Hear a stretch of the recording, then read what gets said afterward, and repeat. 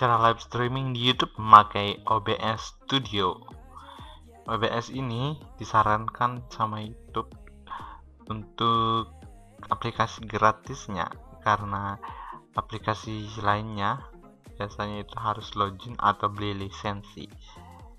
Jadi ya OBS terbaru sangat membantu kayaknya tapi ingat jangan pakai versi lama versi baru lalu setelah kalian install dan punya OBS nya ingat setting di stream.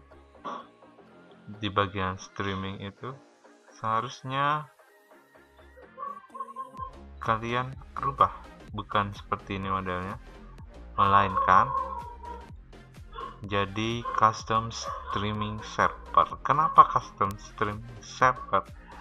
Karena dia sudah harus memakai URL dulu terus key nya jadi kayak uh,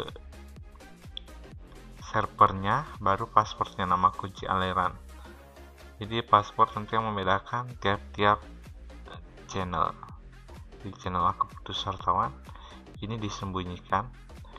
Jadi kalian copy ke settingan dari OBS nya jadi inilah yang membuat kalian bisa live streaming. Kemudian kalian pencet start live streaming di situ di OBS nya kalau kalian mengecek apakah dia sudah jalan live streamingnya kalian bisa lihat di halaman YouTube kalian di pengelola video bagian streaming. Jadi situ akan berubah jadi warna hijau dan dia akan mulai. Jadi live streaming sukses dilakukan dengan OBS jadi seperti itu.